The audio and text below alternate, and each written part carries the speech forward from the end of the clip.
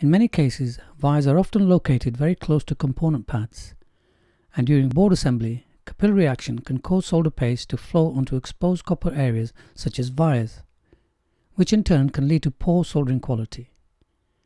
This can be even more problematic when using vias to connect to internal rows of BGA devices. In the 3D view, let's turn off the component bodies to get a better look at the pads and fan-out vias for the BGA. Here we can see some of the vias are quite close to the pads. The presence of exposed metallized holes such as vias under the BGA can be considered prone to solder paste leakage from adjacent pads. This in turn can be a cause for short circuits that will be difficult to identify and fix. Switching to the 2D view, let's focus on an area towards the center of the BGA. We'll use group selection to illustrate how to tent vias manually.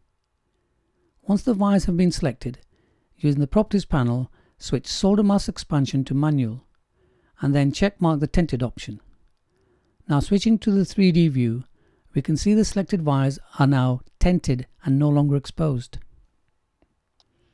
It's also possible to create design rules to tent all vias in the PCB by creating a new solder mask rule.